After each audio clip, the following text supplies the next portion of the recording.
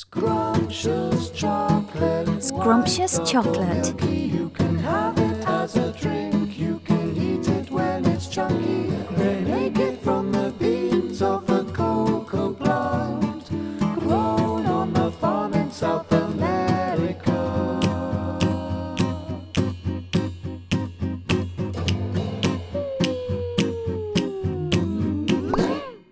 Hello, everybody. Hello, children. Welcome to the very last online school field trip of this year. It's going to be my favourite. I think we've got a super duper one for you because we're going to be learning all about scrumptious chocolate.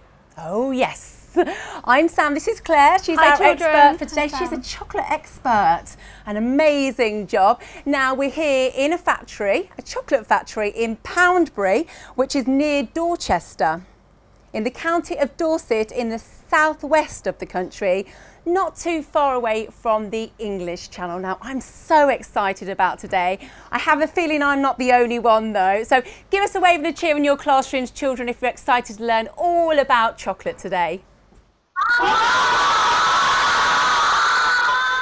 Great stuff. So Cold Harbour are really excited about today. We're going to meet most of you in a second. But first of all, Claire, what are we going to learn today? Okay, Sam, today we're actually going to learn about the ingredients of chocolate, how chocolate is made and moulded into different shapes, about the history of chocolate and why chocolate became so popular, and also why, even though chocolate is delicious, we mustn't eat too much of it. Of course, just as a treat, isn't it, Claire? It's Claire? just a treat. Yes. So let's meet our schools. Let's see who we have taking part today. Let's go to Cold Harbour Primary. They've already already given us a massive cheer.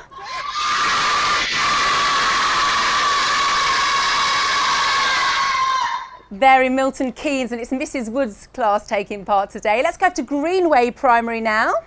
Hello children. That's Miss Coupe's class taking part and they're in Cardiff. Let's go to St Teresa's Primary now. Hello children.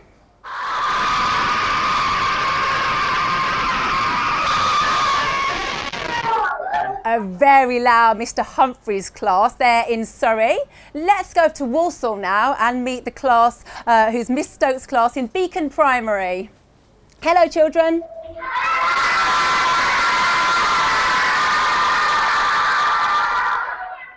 And finally, let's go to Front Street Primary now in Newcastle, where we have Mr Hollingworth's class taking part. Hello, children.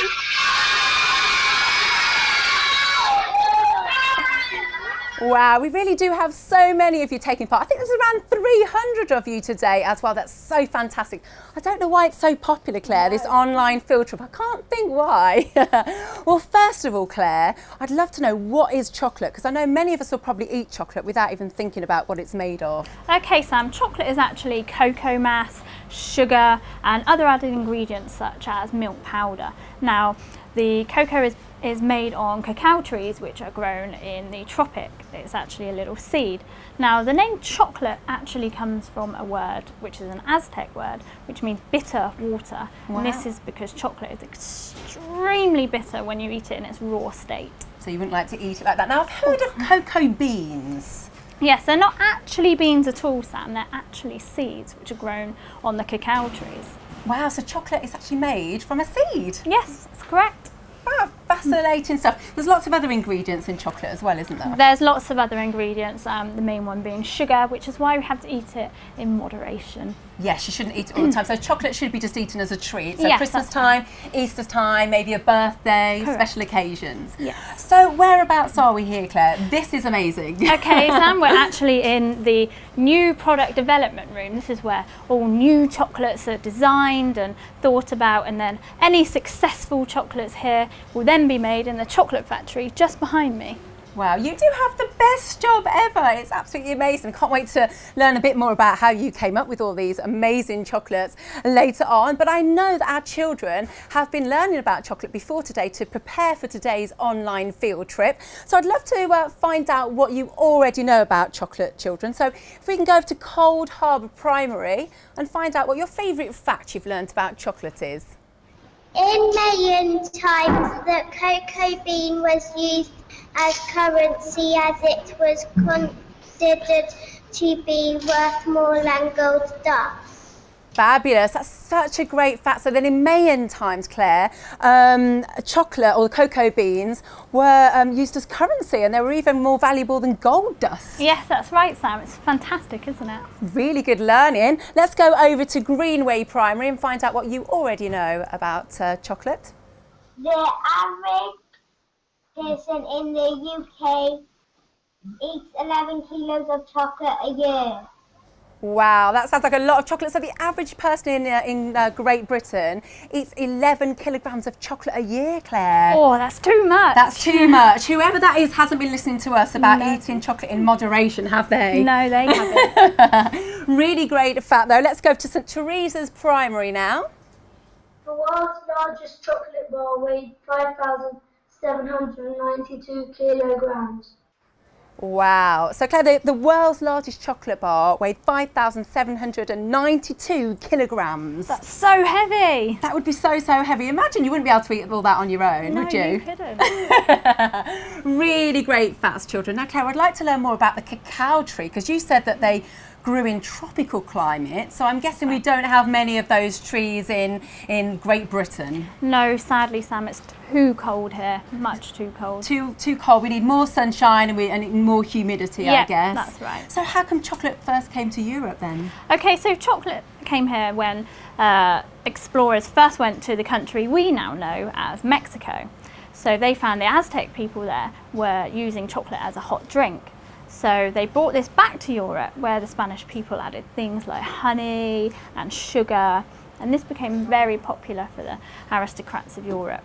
Now, actually, recently they found, um, historians found a kitchen in Hampton Court Palace in Surrey.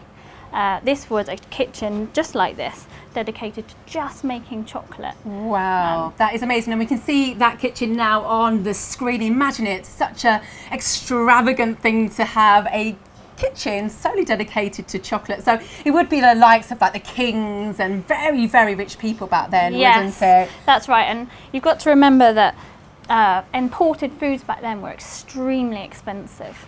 Yeah, so only the very special few. Thankfully, it's not as expensive now. so, so chocolate was imported from Central America then. Yes, that's correct. Great stuff. Well, we're learning so much. Time to learn a little bit more now. Let's uh, find out how cacao is grown and harvested in those tropical regions. What is cacao? Have you ever wondered which ingredients go into making chocolate? Would you be surprised to learn that one of the main ingredients is a kind of seed that looks like this? The seeds grow on cacao trees, which can be found in warm tropical regions, such as here in the Ivory Coast, which is on the west coast of Africa nearly 3,000 miles away from the United Kingdom. They also grow in lots of other countries in the tropics, such as Ecuador, Brazil, and Indonesia. This is because all of these places are warm and humid. Mm. The cacao trees produce large, colourful pods that look like this, hard and melon shaped. They grow straight from the trunk and larger branches of the trees. And once they have ripened from green to yellow, red or orange, the farmer knows they're ready for harvest. There are a few different varieties of cacao. The trees resemble apple trees and grow no more than 25 feet tall. The farmer harvests the cacao pods using a very sharp blade. It's hard work in the hot sun, but the farmers are very skilled. The pods are then cut open to reveal the white fleshy fruit and seeds inside. They typically contain more than 50 seeds each. As you can see, the fresh seeds don't look anything like chocolate at this point. They're not even brown in colour. The seeds are then taken to a processing house. First, the seeds are placed into wooden boxes like this and covered with large banana leaves to protect them. This process allows the seeds to develop a richer flavour and is known as fermentation. During fermentation, the seeds turn from white to brown. Once they are fermented, the next stage is to dry the seeds. This takes around a week, and during this process, the dried seeds lose so much water that they end up around half their original weight. They are now called cocoa beans and look like this. Next, the cocoa beans are roasted in a machine. Roasting makes sure that any bacteria that might be present is killed. And it also helps to give the beans a nice flavour and colour. The roasted beans are then winnowed. This process separates the outer husk so that only the inside remains. The inside is the most important part, as this is used to make the chocolate. The beans are then ground and heated so that they melt into what we call a chocolate liquor. Once the chocolate liquor has cooled down, it sets and becomes what is called cocoa mass. It is then ready to be transported by ship to factories all over the world, where it will be made into tasty chocolate for you to enjoy as a treat. Welcome back, children. We hope you enjoyed that. How fascinating to think that chocolate comes from the seeds of a tropical tree. And the seeds are inside here. You can probably hear me shaking them. And the seeds actually come from this and turn into this. This is a choco-block caramel yoki bar and this is what we're going to be making today in the factory today, Sam. Fabulous stuff. So we are out inside the factory. We've left the workshop. So where does this process start then, Claire? Okay, so we're going to start at the beginning making the caramel yoki part. Mm -hmm. So on this machine we have nozzles. Um, so one nozzle will have the caramel, which is the center, and the other nozzle will produce the chocolate. So the caramel slowly goes through pumped in and it will create a dome. So the caramel will be in the centre and the yellow chocolate will be around the outside. It sounds absolutely yummy. so here we are, we've got the one shot machine here. So you've got lovely, delicious yellow chocolate on the left hand side and then you've got delicious caramel on the right hand side. Now what this does is you just saw, it pumps it into the mould and then it will come down here where they'll give it a little tap and then over to here onto the large conveyor belt. Wow, so there's quite a few of them there just going through. So That's right. where does that conveyor belt go then, So Claire? this is actually a giant fridge. So the chocolates here will be wet chocolate here. It will go down this freezing cold fridge, out to the other end, and then where it can be demolded. Wow. So what you can see here is the little yellow yolks that we were just making on the machine. So if I come around here, we'll cut one open and see what it looks like. Oh, is this going to have the lovely caramel inside? So you can see here, oh, the gooey, delicious caramel. Just like the yolk of an egg. Very, very clever, Claire. So what happens next is they'll then give it to the next machine. Yeah. So they'll do it, use it for decorating. Okay. So we'll come over to this. This is our O3 machine. So these are moulds, our choco-block moulds. We'll pass them through the machine where the milk chocolate and white chocolate will create the bar. Wow, so they get filled up? Exactly. So pumps it out of the machine. So if we come over to here. Great stuff. So this is the white chocolate? Yes, this is the oh. white chocolate. So we've got milk chocolate at the bottom and then creamy, delicious white chocolate which pumps on the top. Wow, that is just absolute heaven. Hello so, everybody, hey children. Hi ladies. Hi. So this is where they do the decorating. So you can see the bars now come out nice and wet so they can add the delicious caramel yokis that we just made on the machine from before. Fantastic, well they're shaping up very nicely but they're going back through to a, another fridge, is this Claire? Yes, this is another giant conveyor belt. This is a giant fridge, it goes all the way through our factory. Wow. Fantastic. So this is quite a long fridge. So how long does this take? Um, it actually takes 20 minutes from when the bar is wet and then it will come out the other end completely hard and you can snap it, demold it and they'll go off for packing. Great stuff. And here they are.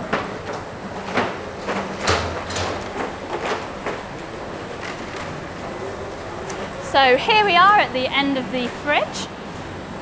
So as you can see, the chocolates will come out of this end uh, where they can demold them and then pop them out and they're nice and hard. Great. So you can, Fabulous. can see you can now snap. Amazing. So these are going to be for Easter time. So they're going to be packed up and then they will go out and be on, Yeah, on the so- shelves in Easter. Special treat for Easter. So what happens is after they've made these here, they'll then wrap them in the foil and then they'll pack them and they'll go off to the stores. Wow, and that's how chocolate is made. A special treat for Easter. It smells absolutely amazing. Thank you, Claire, for showing us that. Let's find out a little bit more about how chocolate is made in this short video. How is chocolate made? One of the main ingredients of milk and dark chocolate, and the thing that gives them their distinctive brown colour, is cacao. Cacao seeds are harvested in tropical regions and made into what we call cocoa mass. Chocolate is made in different strengths depending on how much cocoa is used.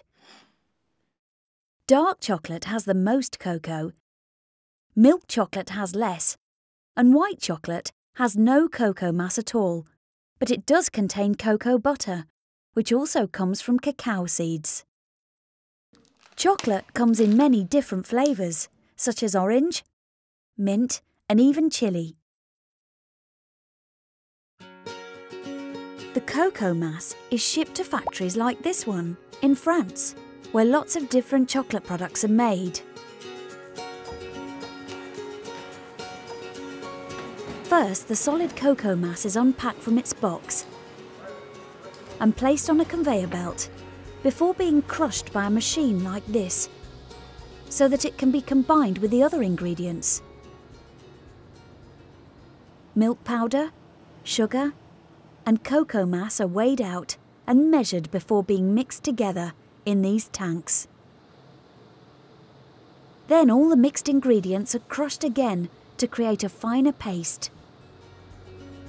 Next, they're melted and churned together to make a smooth chocolate liquid, which is then stored in big tanks like these before being tempered by a machine like this. Tempering means the chocolate is cooled down with only tiny uniform crystals forming. Finally, the chocolate is moulded, shaken to remove any air bubbles, and chilled to create a solid bar.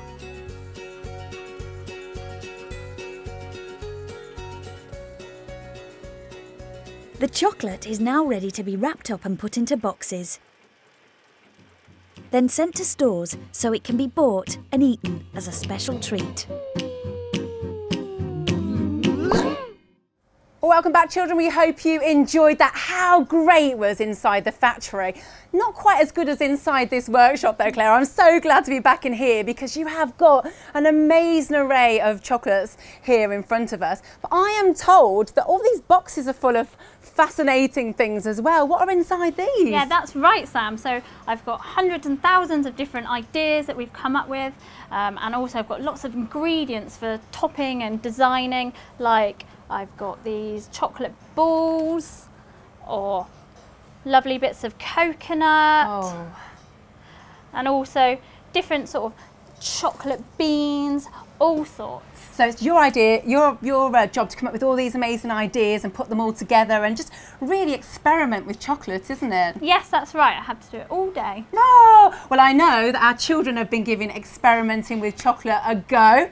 I bet it was lots and lots of fun. I'd love to know how you got on. So let's go to Beacon Primary.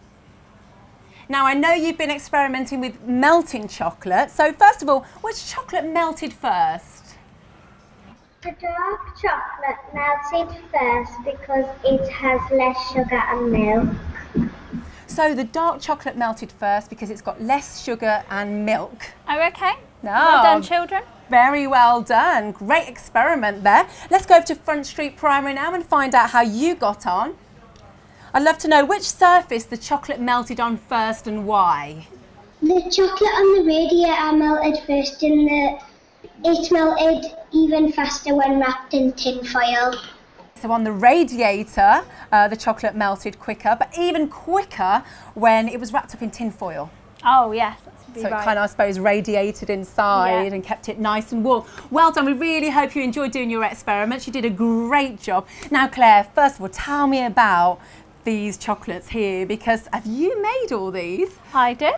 So recently, Sam, I've been playing around with Christmas. So I'm actually doing Christmas next year. Oh, wow. Okay. So I've been coming up with all sorts of different ideas from trees to candy cane to white chocolate that looks like snow.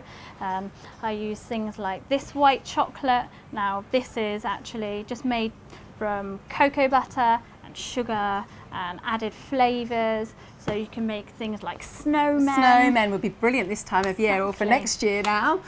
And also if I'm playing around with milk chocolate, I can make things like these chocolate popping candy Santas. Wow. So They sound really good. amazing. so they've got things like added milk powder and things like that, which makes them the creamy colour that they are. Yeah. And I'll also play with dark chocolate. And actually, I've been making this giant Santa here.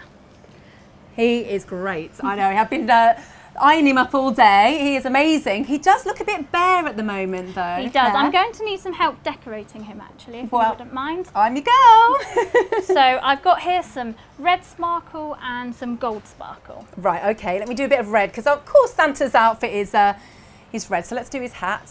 Oh, this is brilliant. Oh, it's so glittery. So you can eat this um, if you were to have it on on chocolate, Claire. Is that okay? The glitter. Yeah, that's just right. Just give it a little There brush. we go. Yeah. and a little bit of gold. Wow, this is just the best job you have, Claire. It's amazing. Fantastic. But you have so much chocolate around you. Do you have a favourite type of chocolate if you're going to eat it yourself? Um, I would say mine is probably the Oh. milk chocolate. Sorry, Santa, your nose is a gold as well. so milk chocolate. I- Milk I, chocolate. I actually really nice and creamy. I like the dark chocolate because I think you can just have a small piece of that and it's quite fruity and then Yeah. it sort of satisfies your your need for chocolate. Lovely. Well, thank you so much for letting us uh, see all this amazing workshop and for letting me decorate Santa. I wouldn't give this to anybody. I think I've actually made a bit of a mess of him. Um, unfortunately, we're coming to the end of today's online field trip, but there's just enough time to get some questions uh, from our school. So let's go to St Teresa's Primary now. Why is chocolate harmful to some animals like dogs but not humans? That's a really great question. So, Claire, do you know why chocolate is harmful for dogs if they were to eat it and uh, not to humans? Okay, it's actually because of a toxin called theobromine. Now, this is a process that dogs, when they digest it, they can't actually process. It becomes a poison, whereas humans can digest it. So that's why it's fine for us. Oh, so dogs can't process something inside the chocolate. Really, really great question, and thank you, Claire. Let's go over to Beacon Primary now. Do we have a question from Miss Stokes' class? Why does chocolate go back to its solid state after it is cooled? That's a really great question. I think that's Bethany. Bethany would like to know why does chocolate go back to its solid state when it's cooled? Okay, well that's actually a very technical question. It's all to do with the melting points and the crystallization inside the chocolate. It's actually something that you guys need to investigate more. Great, really good question. Let's go over to Front Street Primary now. Do we have a question from Mr. Hollingworth's class? Who discovered that cocoa pods could be made into chocolate bars? That's a really great question. So, who discovered that cocoa pods could be made into chocolate bars, Claire? Well, if you can remember earlier when I was talking about the history, um, it was actually when the Aztec people um, were drinking the hot chocolate and the Europeans brought it back. So they played around and added different things, and the Europeans actually then created bars. Fabulous stuff. Really great questions. Can we go back over to Greenway Primary? Is there such a job as someone who invents new chocolate bars? Well, that's a really great question. I think Claire might be able to answer this. So, Claire, is there such a job as inventing chocolate bars? Well, children, that's actually my job. So I have to create all sorts of different new bars every single day. Great, really great questions from our schools. We have a question that has come through uh, on our Twitter. Um, Grace from Westfield Primary would like to know how many cocoa beans are used to make one bar of chocolate, Claire? It all depends on the size of the bar. Yeah, I suppose that, that the biggest chocolate bar that we heard earlier on, which was 5,000 and something kilograms, I guess needed quite a few of those beans. That would be right. Yeah. Uh, thank you so much, Grace, as well, for sending in that question. We really appreciate it. And Claire, amazing answers. And thank you so much for having us here as well. I don't think I want to leave this chocolate factory. uh, one final question. It's a bit of a silly question. What is your favourite thing about your job? Oh, my favourite thing about the job would be when I make something in here and it becomes successful out in the chocolate factory and then I see it out in the shops and on the shelves. Oh, that must be so satisfying. Mm. Yeah, well, keep making the chocolate, please, for us, mm-hmm. and we'll keep eating it in moderation as a treat. Mm-hmm. Thank you, Claire. And don't forget, children, if you'd like to take part in a free farm to fork trail in the new year, then you just need to get signed up on the website, and everything you need to know is there. You'll be able to learn all about where your favourite foods come from and have lots of fun in the process too, as well, just like the children are having on the screen right now. So get yourself signed up from that, for that. But for myself and Claire here at this amazing chocolate factory, um, it's a goodbye. Goodbye, Cold Harbour Primary.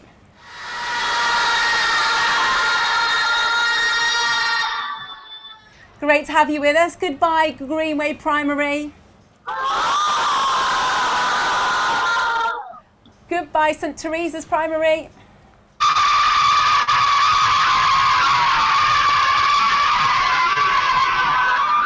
Been really great having you with us. Let's go over to Beacon Primary now and say a big goodbye.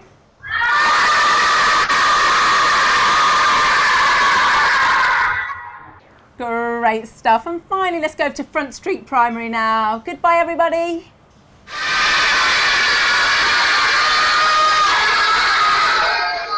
Brilliant stuff. You really have been a great bunch on this online field trip. Join us for more food adventures in the new year, starting with Long Leaks. That will be taking place on the 21st of January as well. So join us for that. And don't forget, we've got dozens of these online field trips online ready for you to watch and resources as well ready for you to download so you can learn all about where your favourite food comes from as well. We'll see you in the new year. In the meantime, Merry Christmas.